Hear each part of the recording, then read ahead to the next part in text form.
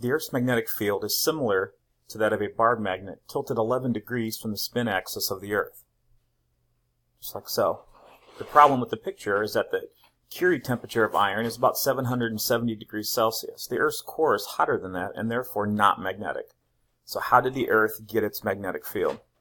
Magnetic fields surround electric currents. So we surmise the circulating electric currents in the Earth's molten metallic core are the origin of the magnetic field. A current loop gives a field similar to that of the Earth. The magnetic field magnitude measured at the surface of the Earth is about half a Gauss and dips toward the Earth in the northern hemisphere.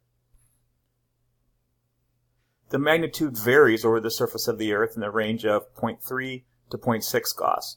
The Earth's magnetic field is attributed to a, di- to a dy- dynamo effect of circulating electric current, but it is not constant in direction. Rock specimens of different age in similar locations have different directions of permanent magnetization. Evidence of four 171 magnetic field reversals during the past 71 million years have been reported.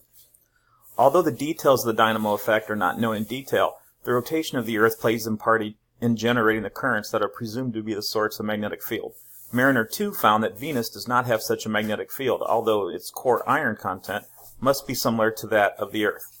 Venus's rotation period of 243 Earth days is just too slow to produce a dynamo effect. Interaction of the terrestrial magnetic field with particles from the solar wind sets up the conditions for the aurora phenomena near the poles.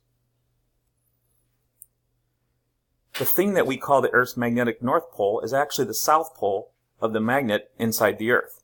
So there's the south pole. When we have a magnet, the north part of the magnet point towards the south pole.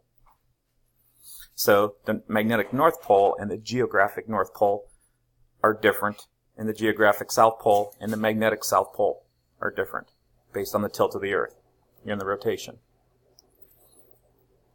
The north pole, the compass needle, and the magnetic north pole is attracted to the geographic it is attracted to the geographic north pole, which is a magnetic south pole. Opposite magnetic poles attract.